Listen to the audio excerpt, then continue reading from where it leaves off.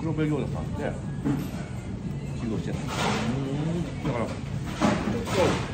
まあ、あたりさんも松田さん。も、うえー、カラミトルさんも、ルーツが。黒部さんの餃子、うん。黒部さんっていうのは今日行くんですか？明日ね多分ね宮ま宮市内で。市内。宮う崎市内。ーん。日立にありますうん。うん。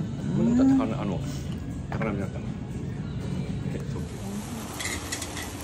この後どこに行かれるんですか？この後元気玉さん銀四郎でちょっとあとは。どうですか？パパ美味しい。美味しいですか？よかった。ああのちょっと熱を逃がしてください。ハフハフして。はいはいはい。